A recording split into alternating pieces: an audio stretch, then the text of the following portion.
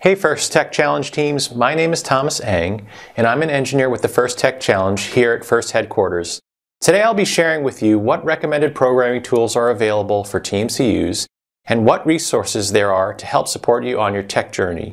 We'll go through each tool one by one and discuss why your team might want to choose a particular programming tool. Let's talk about why you need a programming tool.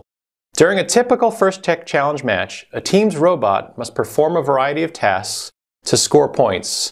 For example, a team might want their robot to follow a white line on the competition floor and then score a game element into a goal. Teams write computer programs called op modes, which stands for operational modes, to specify the behavior of their robot. In order to write an op mode, you will need a programming tool. Now let's talk about the recommended programming tools available for the First Tech Challenge. The Blocks programming tool is a visual design tool that lets programmers use a web browser to create, edit, and save their op modes. Users drag and drop jigsaw-shaped programming blocks onto a design canvas and arrange these blocks to create the program logic for their op mode. With the Blocks programming tool, a user does not have to have a laptop to create and edit op modes. Instead, a programmer can use a device such as a Google Chromebook, an Android tablet, or an Apple iPad to create and edit op modes. The Blocks programming tool is the fastest way to get started programming op modes for your competition robot. If you're a novice programmer, or if you're a user who prefers to design their op modes using a drag and drop visual interface, then the Blocks programming tool is the tool for you. Here are some resources to help you get started with the Blocks programming tool. Blocks Programming Online Tutorial Blocks Programming Tutorial playlist on YouTube. And if you have questions about using the Blocks programming tool, there's a Blocks programming subforum of the First Tech Challenge online forum.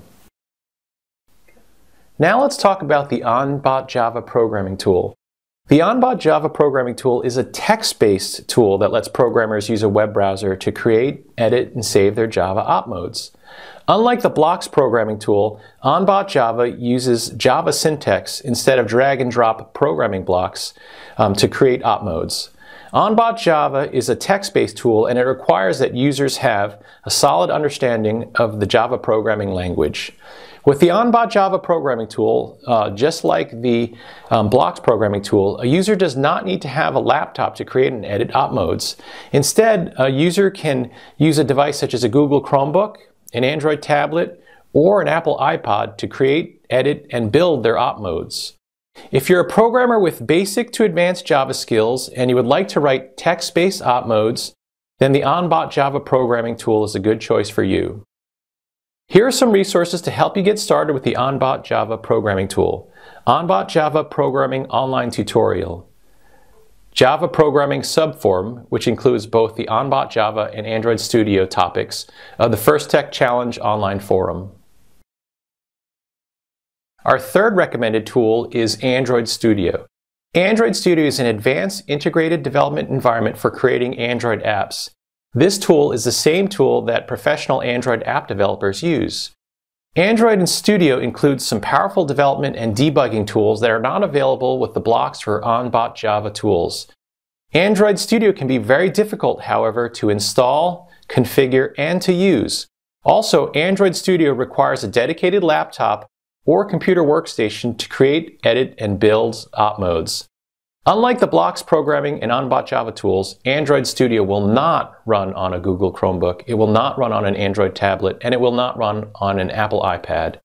Android Studio is only recommended for advanced users who have extensive Java programming experience.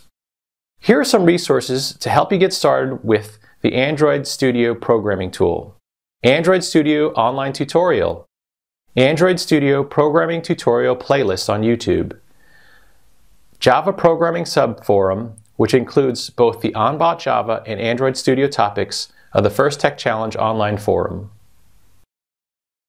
In summary, there are three great programming tools available for you to use in the First Tech Challenge. Regardless of what tool you select, always remember that you have the support of FIRST and the First Tech Challenge community to help you become successful. Regardless of your, whether you're a rookie team or a veteran team, be sure to check out the technology forums if you have a question, concern, or even an answer.